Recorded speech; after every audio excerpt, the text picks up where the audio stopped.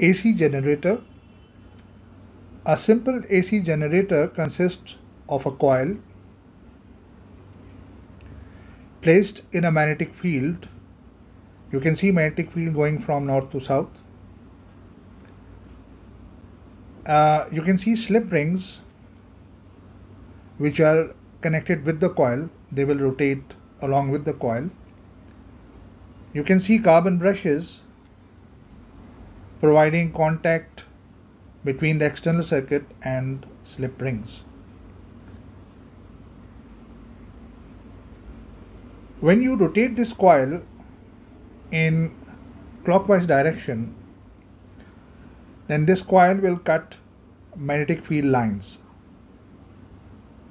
and this causes change in magnetic flux which induce EMF. This electromotive force will create current in, in the coil.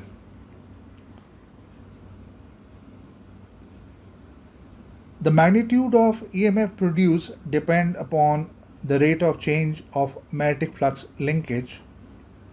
If you rotate the coil faster, you will get greater magnitude of induced EMF.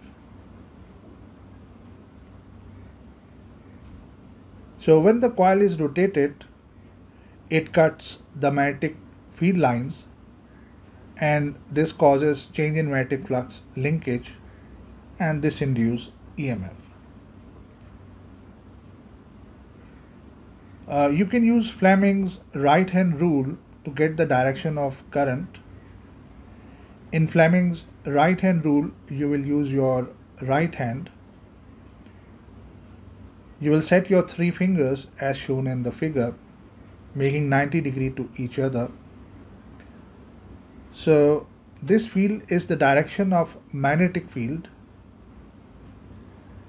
and thumb is showing you the direction of motion then your second finger will give you the direction of current.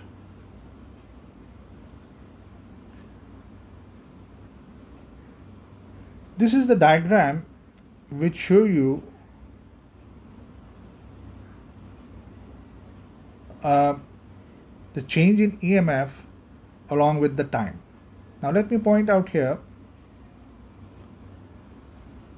if you look at the diagram, you can see that for one half cycle, the coil will cut the magnetic field in one direction and for the second half cycle, it cut the magnetic field lines in opposite direction. So in this diagram, you can see this is one half cycle of the coil and this is the second half cycle which is in opposite direction. So EMF is positive and negative in the figure. The second important point is this that if your coil is horizontal,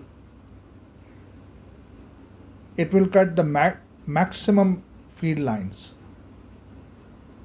and the value of EMF is maximum. This is the horizontal position. In vertical position, the magnetic field lines,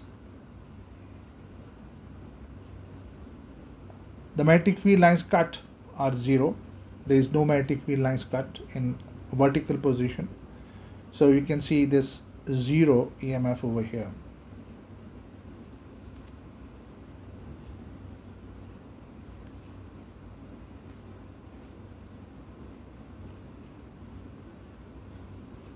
So here your EMF is zero and here your EMF is maximum and this is the horizontal position of the coil and you can see the vertical position of the coil.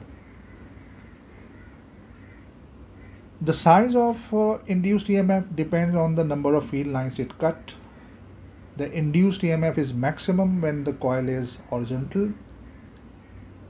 In horizontal position, the rate of change of magnetic flux is maximum In vertical position, the rate of change of magnetic flux is zero.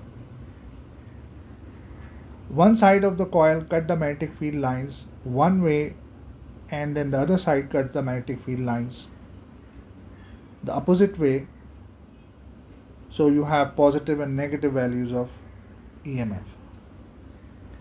Value of EMF uh, can be increased by taking a stronger magnet, by taking more number of turns in the coil and by moving the coil faster.